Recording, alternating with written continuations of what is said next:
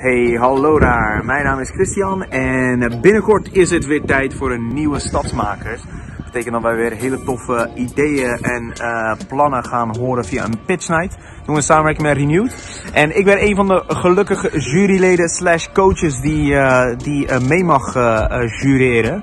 Dus als jij een tof idee hebt, dan kan je je aanmelden voor deze toffe avond. Er zijn andere coaches en juryleden, die, die zou je misschien ook nog langs zien komen.